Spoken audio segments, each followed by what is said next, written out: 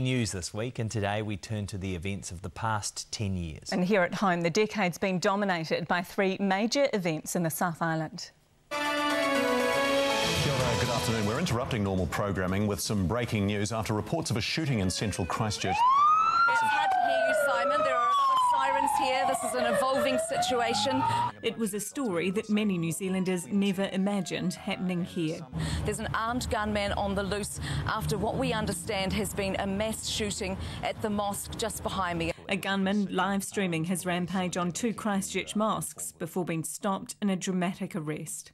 It is with extreme sadness that I tell you that as at 7 pm tonight, we believe that 40 people have lost their lives in this act of extreme violence. The world was watching, and this is how we responded. You may have chosen us, but we utterly reject and condemn you.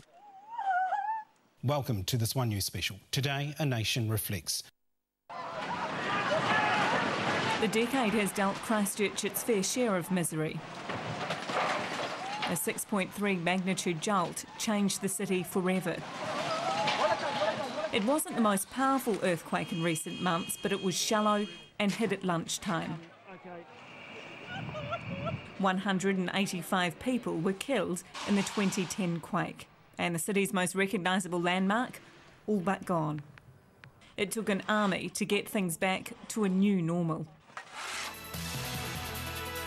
We have confirmation, it came minutes ago, that there has been a second explosion at the mine this afternoon and that there is now no hope for the 29 trapped miners. We kept hope until it was lost for the families of the Pike River miners.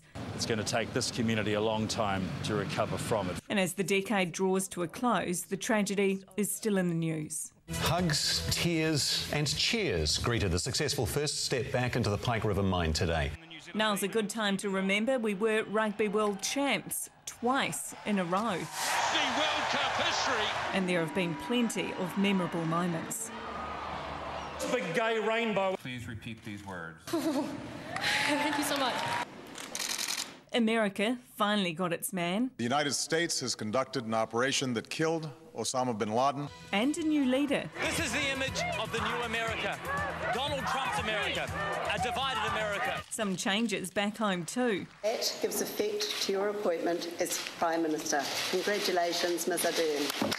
News technology keeps moving forward, upgrading to high definition cameras and smart new graphics. Then the 2.3 kilometre long drift. It allows us to go live wherever there's a cell phone network. One News reporters are stationed in those areas north and south. Meaning we can capture the good, Neve, Te Aroha, Ardern Gayford. The bad, and the ugly. yep, that's a way to end. Uh, the good, the bad, and the ugly. And sometimes, of course, things just go wrong. Tomorrow, we'll give you a taste of our best bloopers. Oh, yes.